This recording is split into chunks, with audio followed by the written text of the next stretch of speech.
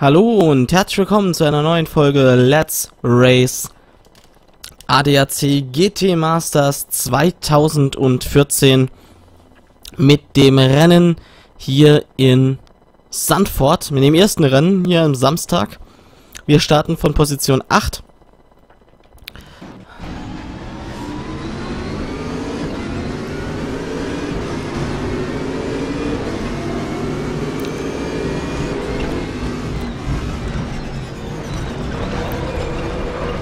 dann machen hier schon mal gleich die ersten Positionen aktuell noch gut. Ja, eine Position haben wir und verlieren sie gleich wieder. Wegen dem Quersteher. Ach ja, Kinners. So früh im Rennen, dann machen wir doch noch einen Neustart.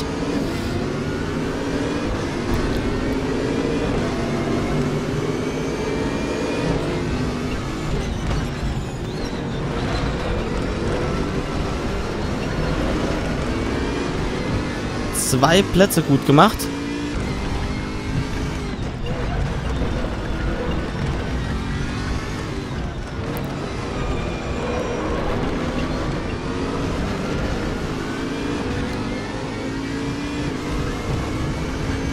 Was vor allem sitzen muss, ist nachher der Pflichtboxenstopp. Mit dem Fahrerwechsel. In Anführungsstrichen.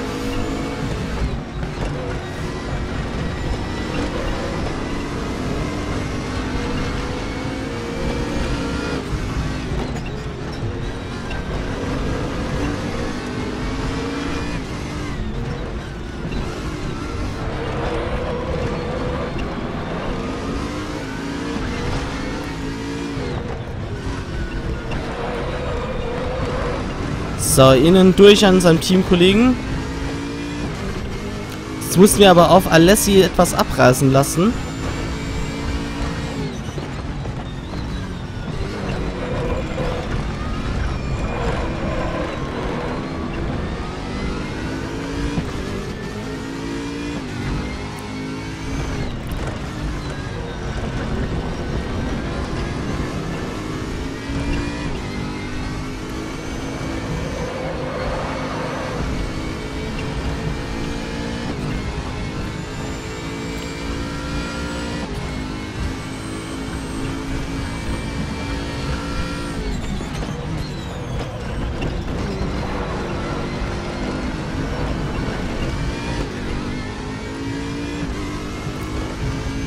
Geht in drei Minuten auf und vor lauter Gucken dann das Boxenshop-Fenster auf geht verdammter Scheiße.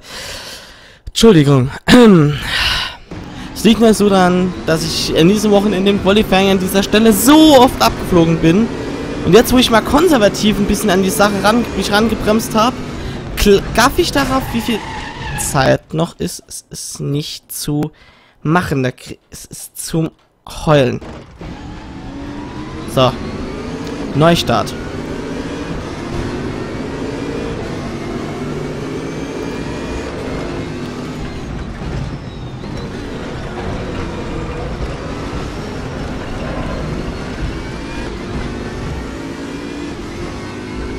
So, hier keine zwei Plätze gut gemacht. Schade eigentlich. Machen wir hier die nächsten Platz gut.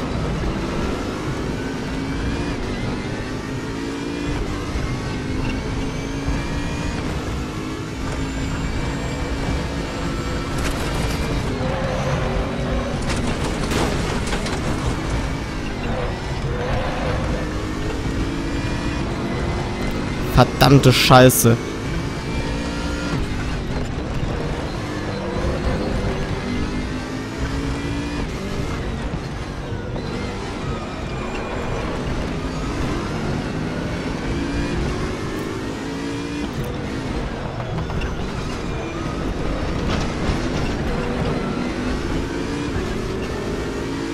Oh, ich wäre schneller und dann blockt er mich, wo es auch, wo es auch immer nur geht.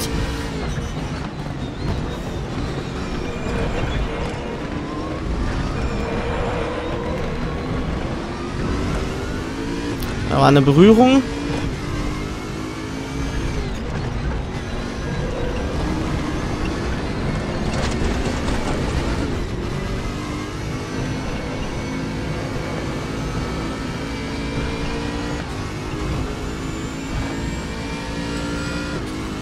So, Diego Alessi und unser Teamkollege Jens Klingmann sind die nächsten Kandidaten, die es zu überholen gilt.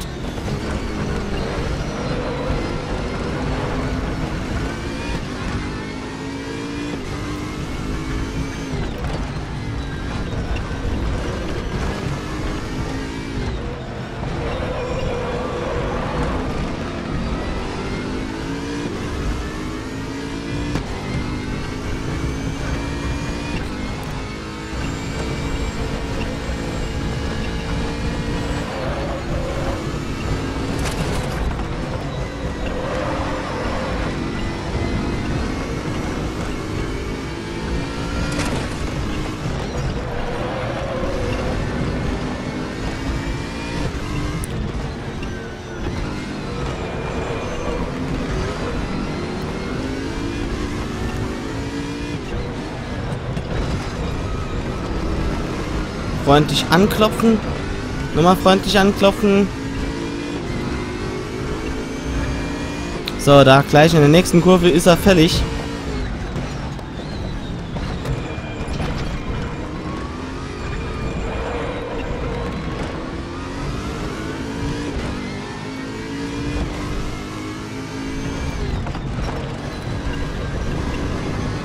Ich hoffe, dass wir an Jens Klingmann ebenso zügig vorbeikommen.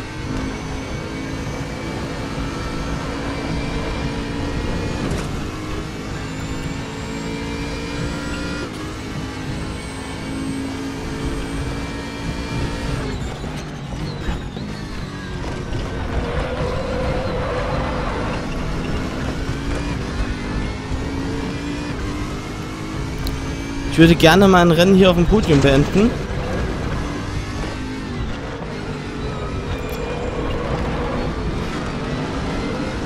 Nachdem wir in Oschers Leben zwei mögliche Siege weggeschmissen haben und stattdessen gegen zweite Plätze ausgetauscht haben. Ach, zweite Plätze, sieben Plätze, siebte Plätze ausgetauscht haben.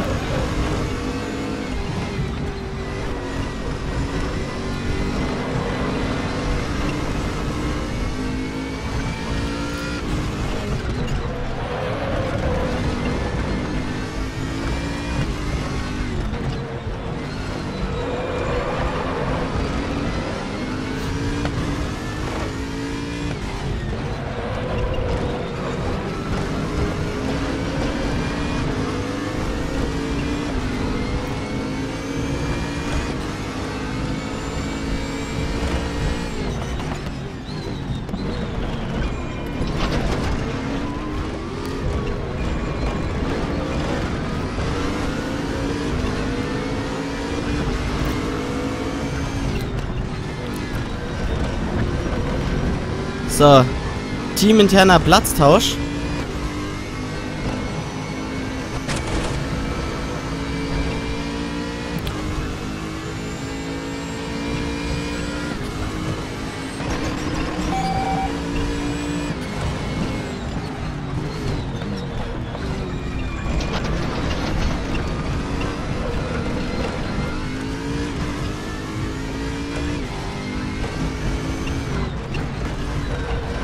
Vor lauter Boxenstopp einstellen habe ich natürlich hier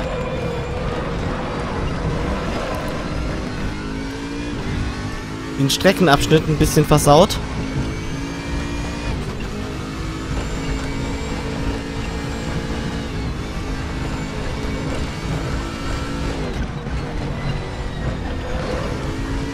Ja, hier zu viel gebremst.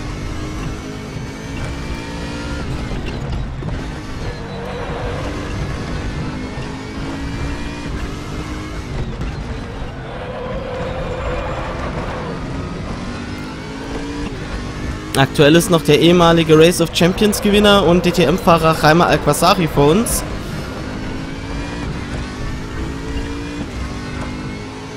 Ja Quatsch, Alquasari ist ja Formel 1 gefahren, vergisst es. Ähm...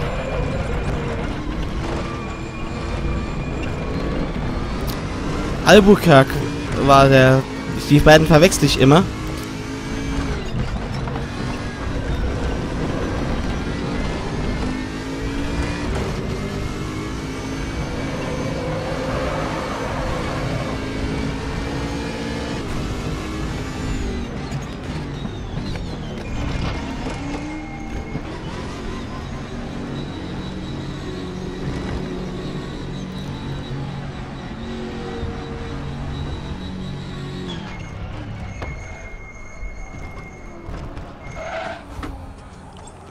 So, Boxenstopp mit Fahrerwechsel ist jetzt angesagt. Und da kommt Maxi Götz rein.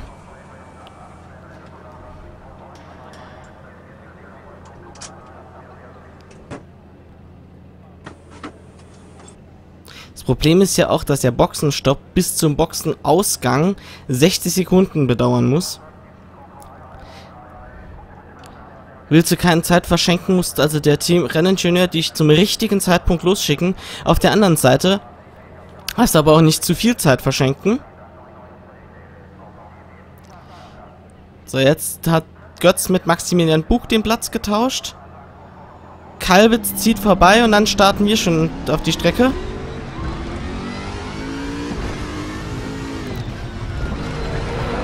Also kann man sagen, wir haben auf den eben noch Zweitplatzierten vielleicht ein bisschen Zeit gut gemacht, auf jeden Fall keine Zeit verloren. Das ist das, was am meisten wert ist.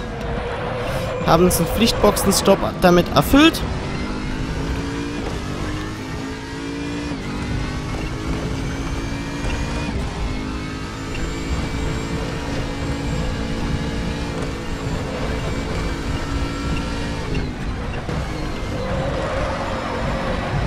Daniel Kalwitz müssen wir jetzt einholen und überholen.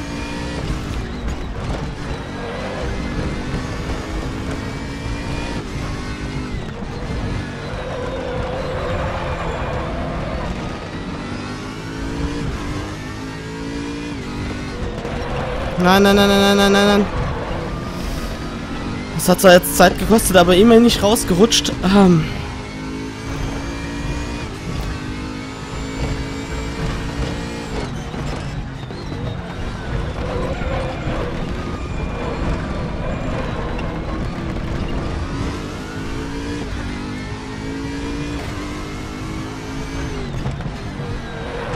Fernkampf mit Al-Qasari.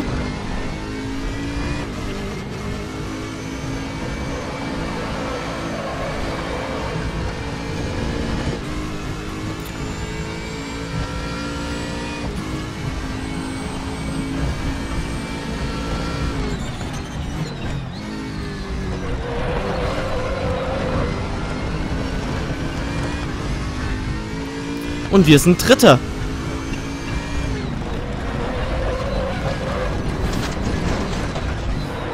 Das heißt, jeder Platz nach vorne.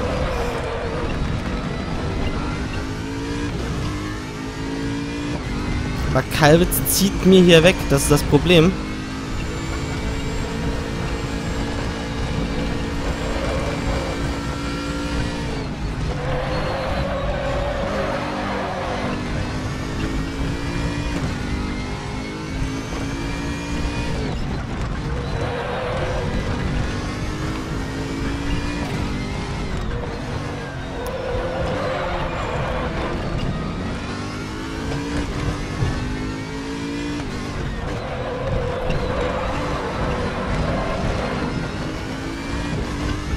Wie er mir jetzt hier wegzieht, das gibt's doch gar nicht.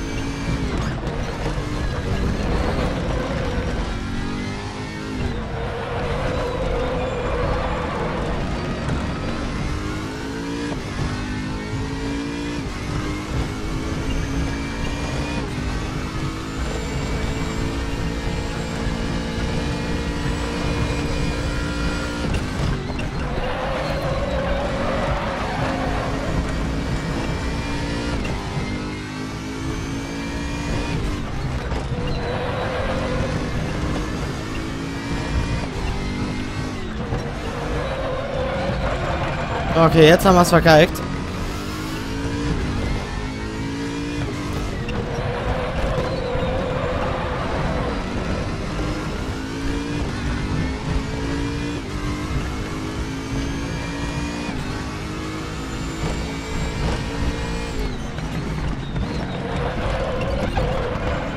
Auf der anderen Seite, wenn die beiden sich jetzt gegenseitig richtig einbremsen, Kevin van der Linde und Kalwitz, kommen wir vielleicht noch einmal ran.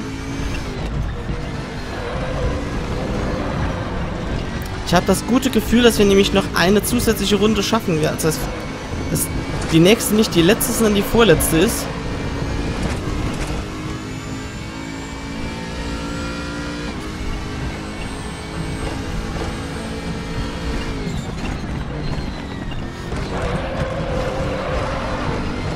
Ich habe noch Hoffnung auf den zweiten Platz, da bin ich ganz ehrlich.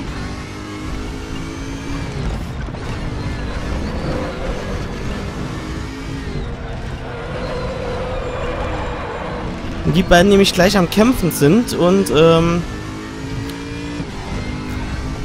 mich nicht bemerken.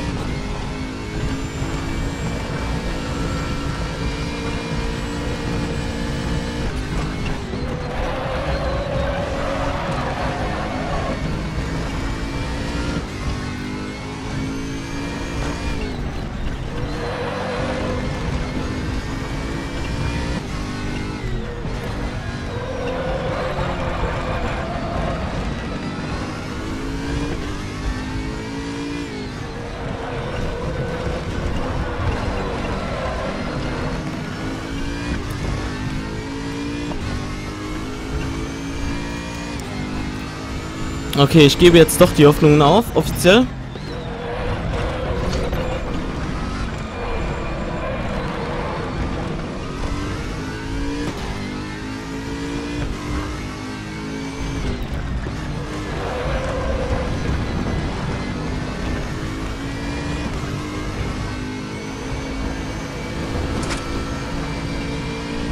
So, jetzt kommt gleich offiziell die letzte Runde.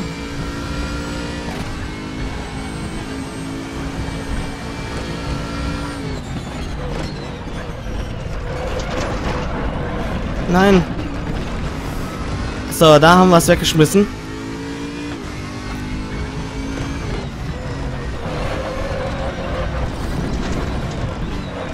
Beziehungsweise da haben wir es jetzt weggeschmissen.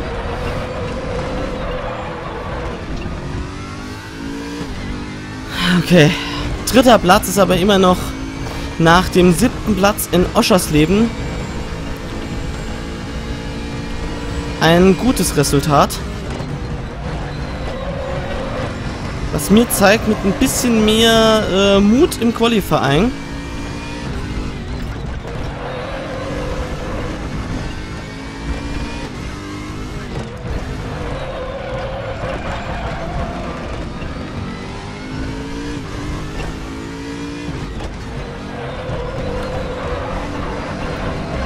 Mit ein bisschen mehr Mut im Qualifying hätten wir vielleicht dieses Rennen sogar können gewinnen.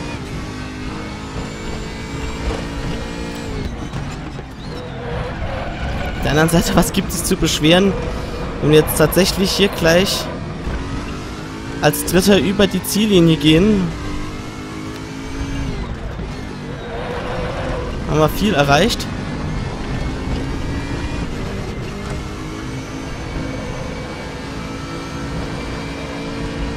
Von Startplatz 8 aus. So, da haben wir's.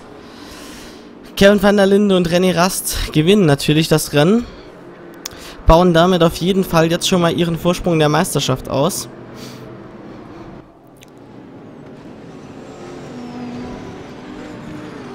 Aber auch Kalwitz und Wirth sind gut ins Wochenende gestartet. Aber wir stehen auf dem Podium. Und damit so sieht es jetzt in der Gesamtwertung aus. Damit sind wir zumindest mal auf Position 7 hochgerutscht. Wenn wir auch jetzt mit 25 Punkten, wow, jetzt schon richtig Abstand haben. 43 Punkte Vorsprung auf die Führenden. Also ich denke, wenn wir dieses Jahr um die Titel wollen mitsprechen, dann haben wir ein Problem. Bug, Götz sind stattdessen jetzt wirklich einholbar.